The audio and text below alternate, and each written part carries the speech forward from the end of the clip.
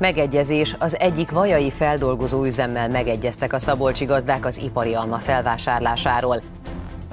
Átadták a parkolóházat, ezzel lezárult a Jós András Oktató Kórház közel 17 milliárd forintos tömbkórház projektje. Nőtt a viharkárok száma, az elmúlt öt évben minden negyedik ingatlan tulajdonost ért már viharkár, csak tavaly nyáron 104 ezer ilyen esetet jelentettek be.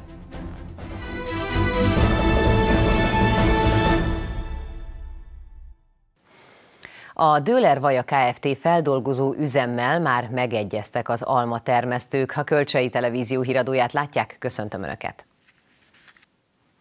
A vajai cég hajlandó 20 forintos kilogrammonkénti áron felvásárolni az ipari almát a szabolcsi gazdáktól.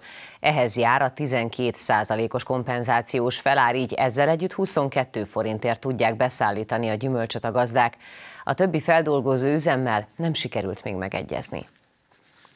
Három héttel ezelőtt kezdődtek a demonstrációk az ipari alma alacsony felvásárlási ára miatt. Az egyik osztrák feldolgozó üzem 13 forintot akart adni egy kiló léalmáért, amit a gazdák megalázóan alacsony árnak éreztek. Ők legalább 25 forintot tartottak reális árnak. A hosszas tárgyalások részleges eredményhez vezettek kulcsmomentum az a hétfői vásáros neményi tüntetés volt, ahol az ország 19 megyéjéből több ezer ember jött el a gazdakörök hívószavára, és gyakorlatilag ez a több ezer ember már elérte azt a kritikus tömeget, amire az egyik feldolgozó azt mondta, hogy ő megindítja a termelést, így a Vajai Dőle Kft. az, aki megindította. Tény viszont, hogy a többi feldolgozó egyelőre továbbra is áll, ugyanis ők a gazdák követelését még a legkisebb mértékben sem fogadták el. A Dőler Vaja Kft. kilogrammonként 20 forintot kínál a szabolcsi almatermesztőknek. Ehhez jár a 12%-os kompenzációs felár, amelyel együtt bruttó 22 forintot ad a vajai üzem a léalmáért. Ezen a cégen kívül még három feldolgozó üzemmel folynak a tárgyalások. Ezek gyakorlatilag most állnak, és a demonstrálók mindegyik üzem előtt traktorokkal, illetve sok-sok emberrel felvonulva jelzik, hogy ide egy kilóalma nem teheti be a lábát, ugyanis olyan árat diktálnak még továbbra is a profitérs feldolgozók, hogy ezt a gazdák továbbra sem tudják elfogadni. Most azért bonyolódott a helyzet, eddig a tárgyaló delegációnak, mivel a demonstráció csak az Ausztria Juice üzemel előtt zajlott, csak az Ausztria Juice képviselőjével kellett tárgyalni. Viszont ugye most már az öbbi feldolgozó is megindítaná a termelését, ezért a gazdáknak igencsak szét kell szakadni, hogy mindegyik céggel napi szintű kapcsolatot tartsanak, és megmondom őszintén, hogy, hogy azért kicsit most kevésbé zöggenőmentes a tárgyalási folyamat. A gazdák azonban kitartanak. A feldolgozóknak pár hónapig tart a szezon, ebből a három hetes leállás hatalmas jövedelem kiesést jelent számukra. Cseh Tibor András elmondta, a termelők delegációja bármelyik nap, bármelyik időpontban tud tárgyalni az üzemekkel egy elfogadható árról. Elkészült a parkolóház a Nyíregyházi Jós András Oktató Kórházban, ezzel lezárult az egészségügyi intézmény tömbkórház projektje. Az 5050 négyzetméter alapterületű kétszintes parkolóházban összesen 361 darab autó fér el.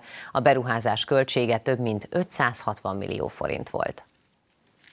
Egy új bejáratot is kialakítottak a Józsa András Oktató Kórház új parkolóházához. Ennek megépítése megoldhatja a parkolási problémákat az intézménynél.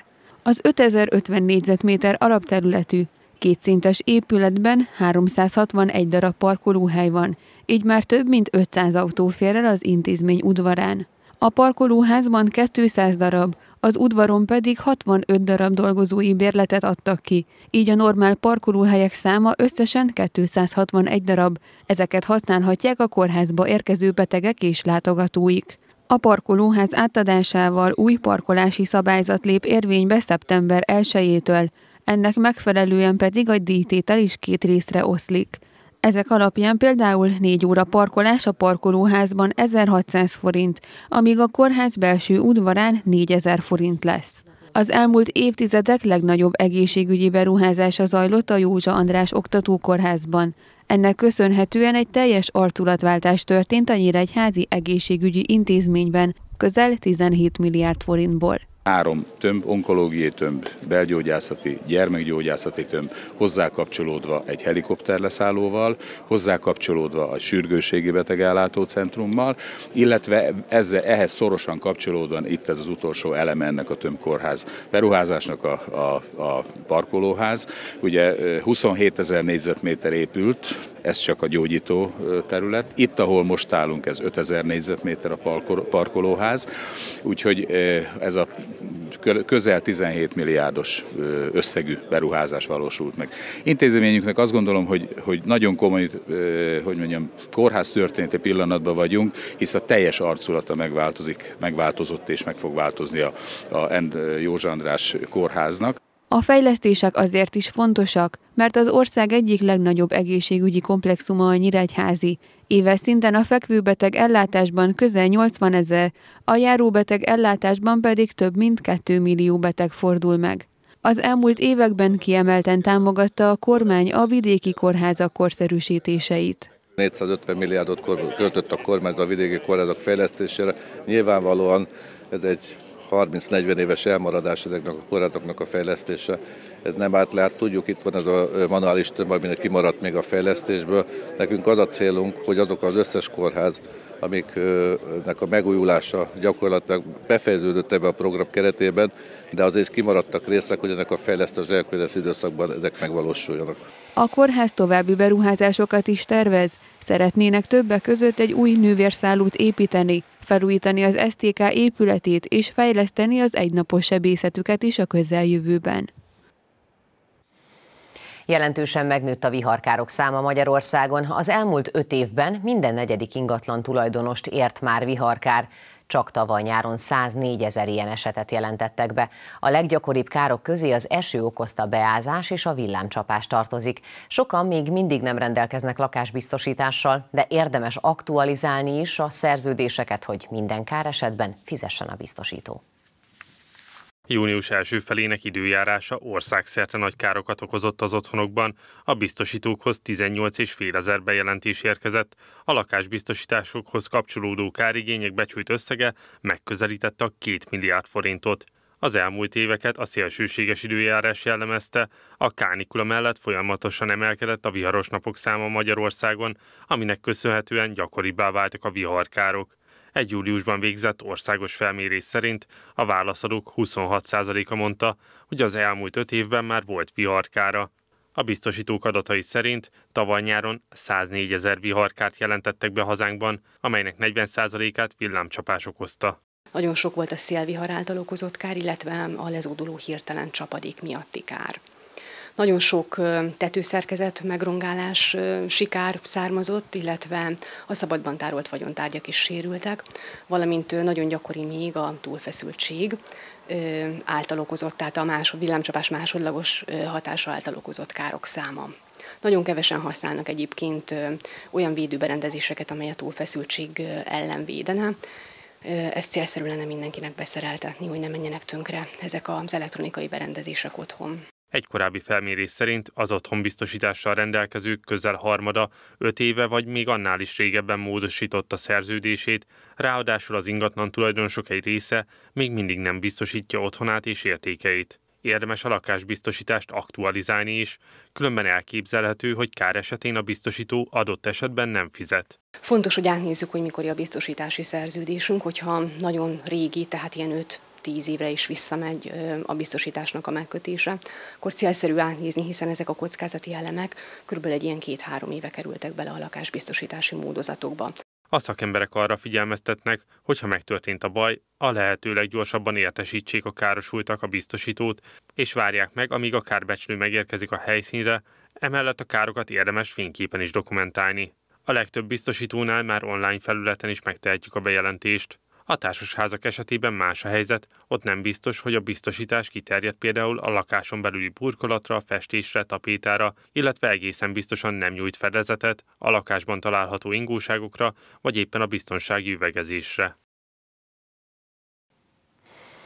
Szeptember 1-től a kis- és középvállalkozások digitális fejlesztésre kamatmentes hitelt igényelhetnek 8 együttműködő bank révén, összesen 642 MFB ponton.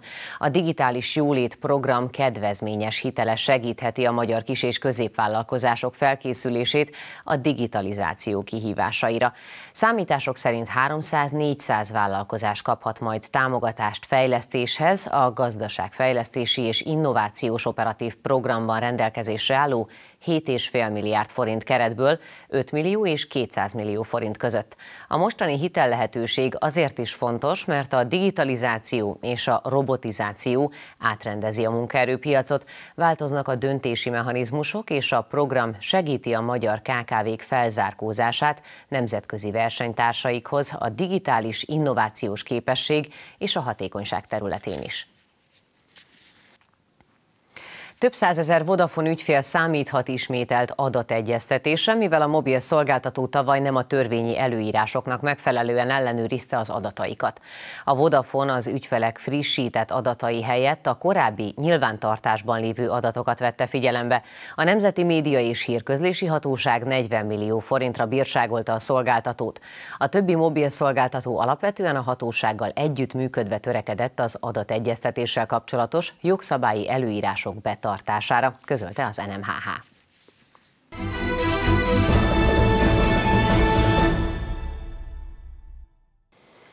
Folyamatosan zajlik a csaknem fél milliárd forintból megvalósuló úgynevezett EFOPOS program sorozat Nagykálóban és környékén, melynek legfőbb célja, hogy a térség megtartó erejét és a humán szolgáltatásait fejleszék. A rendelkezésre álló forrásból már számos közösségi rendezvény megvalósult, a következő másfél évben pedig többek között állásbőrzéket, szakmai workshopokat, zenés, valamint sport és kulturális rendezvényeket is szerveznek majd a térségben. Nagykállóban és a nagykállói térségben a társadalmi és a civil élet eddig is jelentős volt.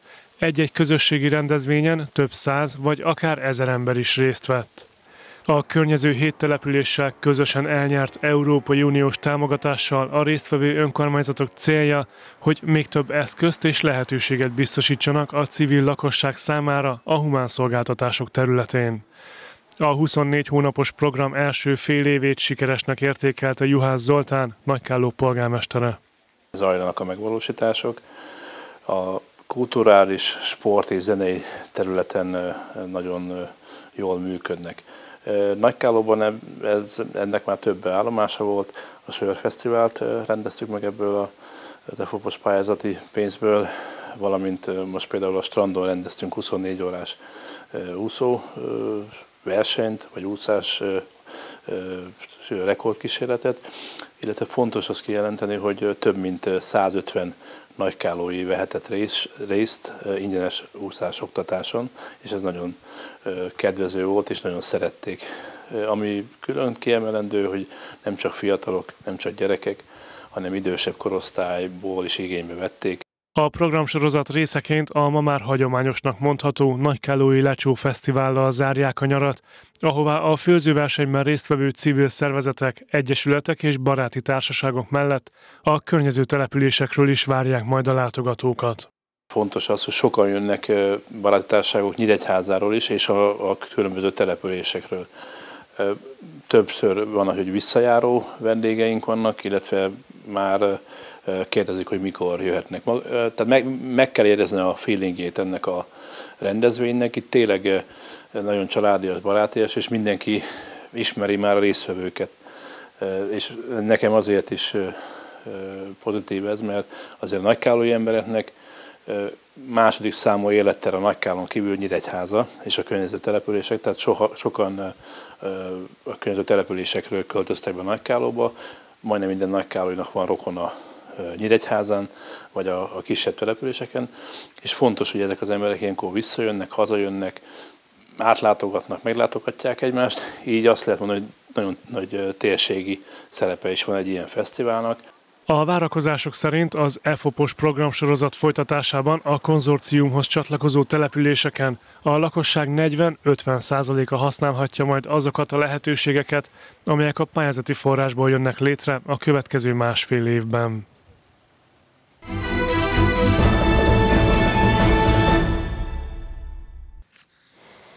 Fucsovics Márton szettet nyert Novák Djokovic ellen a US Open első fordulójában. A nyíregyházi teniszező a torna kétszeres győztese ellen lépett pályára az első körben, és a hatodik helyen kiemelt szerb teniszező három óra alatt 6-3, 3-6, 6-4, 6-0-ra győzött a 35 fokos kánikulában lejátszott mérkőzésen. Kettős érzések kavarognak bennem. Elsősorban olyan büszke vagyok magamra, hogy egy ilyen jó teljesítményt tudtam felmutatni. Nagyon jó érzés volt egy ekkora stadionba játszani, Novák Djokovic ellen, világ egyik legjobb teniszezője ellen. A másik pedig, hogy egy kicsit szomorú is vagyok, hogy szett-szett és harmadik szettben 4-2-re vezettem. Nem tudtam megnyerni ezt a harmadik szettet, akkor talán máshogy alakulhatott volna ez, ez a mérkőzés. Az tény, hogy nagyon meleg volt, mind a ketten szenvedtünk, a végjátékban ő volt jobb. Ma kezdődött és szombaton fejeződik be a Nyíregyházi Kosársuli hagyományos szezon előtti utánpótlás tornája. A serdülő, a kadett és a junior korosztályban három helyszínen összesen 18 csapat lép pályára. Már hagyomány, hogy a Nyíregyházi kosársuli augusztus végén, szeptember elején egy utánpótlás tornát rendezve igyekszik minél több játék lehetőséget biztosítani korosztályos csapatainak. Tavaly 17 részvevő együttessel rekordot döntöttek a szervezők, idén ennél egyel több csapat fogadta el a meghívást a tornára, amelynek ezúttal is van külföldi vendége. Határon túlra most per egy szlovák csapat érkezik az ójon. A román csapatok azok per pillanat nem kezdtek még el edzeni, tehát őket hiába szeretők volna behívni, hogy régebben is jöttek, most ezt nem sikerült megoldanunk. A többiek azok, a szokásos a Szexágy jön, a Nagy Kanizsa jön, a szolnoki csapatot látjuk vendégül, de ugye a török flór is régebben volt a tornákon, most hogy hogyan, hogy visszatérje, a Dunakeszi kiszticák, ők is évek óta jönnek, most a, a Miskolti csapatok közül a, az MVS-i vadmacskák azok, akik, akik eljönnek erre a tornára. Hát is igazából, hogy ugyanazok a csapatok jönnek évek óta, de ez azért jó, mert ugye amikor, amikor ők rendeznek tornát, akkor mi is megyünk oda szívesen, tehát helyek közel ismert arcokkal fogunk itt találkozni. A szakmai igazgató szerint fontos, hogy a fiatalok minél több stílus ellen mérhessék le, hogy hol tartanak a felkészülésben, bár ilyenkor nem az eredményesség az elsődleges szempont. Én ezt még mindig felkészülésnek szánom, tehát persze jól hangzik az, amikor minden mérkőzést megnyerünk, meg milyen szép és jó, de elsősorban az a lényeg, hogy a következő hétvégén már a selejtezője lesz a serdülőnek és a juniornak, ahol ugye mind a kettőnél a főtáblára jutás a cél, tehát ugye a legjobb 12 közi jutásért fogunk játszani, e, és azért nem, ne, nem mindegy, hogy játékosok milyen állapotban vannak, és e, sok esetben azért ilyenkor az eredményt az, hogy kicsikét talán félre lehet tenni annak érdekében, hogy a következő hétre készüljünk, ami sokkal lényegesebb és fontosabb. A kadettjeink azok két hét múlva fogják ugyanezt a selejtezőt vívni, tehát úgy gondolom ezeken a tornákon, hogyha sikerül megnyernünk, akkor nagyon boldogok vagyunk, de ha nem, akkor sincs gond és probléma. Az a lényeg, hogy a, a gyerekeknek a felkészülésével jól, jól illesszük be, és hogy a következő mérkőzésekre valóban az ki, amit látni szeretnénk tőlük. A juniorok a Szent Imre gimnázium csarnokában, a kadettek a Bánkiban, a serdülők pedig az ötvös tornatermében játszák a meccseiket. Az utolsó mérkőzések a tervek szerint szombat dél körül fejeződnek majd be. Felkészülési tornát nyert Ózdon a Nyíregyházi férfi kézilabda csapat Bécsi János együttese a Deac ellen 24-20-ra, majd a döntőben a Balassa gyarmat ellen 42-31-re győzött. Az NKC a hétvégén Balmazújvárosban lép pályára egy nemzetközi tornán. Közeleg az NB1B rajtja, így a csapatok sorra játszák a felkészülési meccseket. A nyíregyháziak az elmúlt hétvégén Ózdon vettek részt egy tornán három másik másodosztályú csapat társaságában. Bécsi János együttese az elődöntőben a debrecenieket verte négy góllal, a döntőben pedig a Balassa gyarmatnál bizonyult jobbnak 11 találattal. A szakember a tornagyőzelem mellett annak is örült, hogy a fiatal játékosok jó teljesítményt nyújtottak a két mérkőzésen. Rengeteg junior, illetve ifi játékosunk van most ebbe az évbe a felnőtt csapatba, és az ő játékuk mindenféleképpen eh, nagy felüdülést hozott. Egyrészt a lendületes gyors játékuk, meg az, hogy eh, megnézhettem azt, hogy a bajnokság közben mennyire fognak merészek lenni, és mennyire fognak beilleszkedni a csapatba. Úgy gondolom, hogy tökéletesen helytáltak, Mihai Béla, Horváth Bendegú szélen, tehát elég gólerősen játszottak, a Fóri Zsololi átlövő teljesítmény az kimagasló volt, tehát 17-18 éves fiúról beszélünk, és mérkőzésenként egy ilyen 6-7 gólos átlagot hozott illetve a Hegyesi Kristóf beálló pozícióba, aki mindenféleképpen ebbe az évben lehetőséget fog kapni. Én úgy gondolom, hogy az eddigi felkészülés, illetve a mérkőzések azt mutatják, hogy jó úton vagyunk. Van még egy bő két hetünk a bajnoki rajtig. Hétvégén megyünk még Balmazújvárosba egy nemzeti közi tornára, egy ugyanígy egy négy csapatos tornára, ahol már szeretném tovább csiszolni a játékelemeket. Mint Bécsi János elmondta, lassan mind a pályán, mind az öltözőben kialakul a csapaton belüli hierarchia. A fiatalok már az elmúlt év és a felnőtt csapattal készültek, tehát nem ismeretlen számukra a felnőtt közeg. Igaz, hogy csak edzéseken, illetve egy-két mérkőzésen kerültek oda.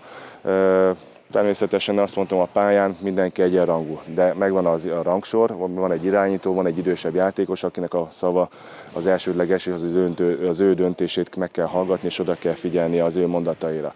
De azt kértem, hogy ne legyenek megilletődve, mert ha pályára kerülnek, akkor nekik is ugyanolyan szerep jut, mint egy felnőtt játékosnak, és ugyanúgy oda kell menni, ugyanúgy cselezni kell, ugyanúgy kell kapura lőni, és nem lehet alibizni. Mert ha alibizünk, akkor nem tudok rá számítani a bajnokság közben. Én úgy gondolom, hogy a fiatalok ezt megértették, és nagyon szépen beéleszkednek a játékba, az öregek pedig elfogadják a fiatalokat. A Nyíregyházi csapat a szezon első tétmeccsén a Magyar Kupában szeptember 7-én az Úzdot fogadja. A bajnokság nyitófordulójában szeptember 14-én a Deac érkezik a Continental arénába. Híradunk végén nézzük a legfontosabb híreket még egyszer, röviden. Az alma termesztők hétfői vásárosnaményi demonstrációja részleges eredményt hozott. A 19 megyéből több ezer gazda vett részt a tüntetésen, ennek hatására pedig a Dőler Vaja Kft. 20 forintos kilogrammonkénti árat ajánlott fel, amit a gazdák elfogadtak. Így ebben a feldolgozó üzemben megkezdődhet a munka. Három másik cég előtt azonban továbbra is tart a traktoros demonstráció.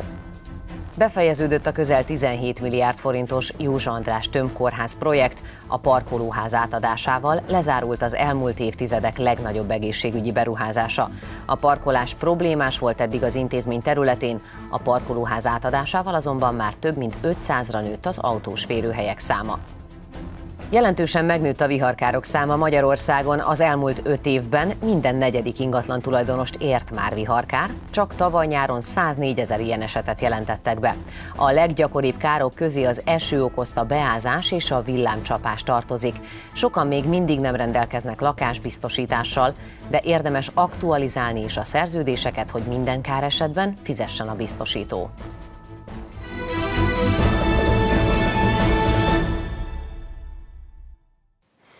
Önök a Kölcsei Televízió híradóját látták augusztus 29-én szerdán. Friss hírekkel holnap este várjuk majd Önöket. Tudósításainkat addig is elérik a honlapunkon. Én munkatársaim nevében is köszönöm a figyelmüket. A viszontlátásra!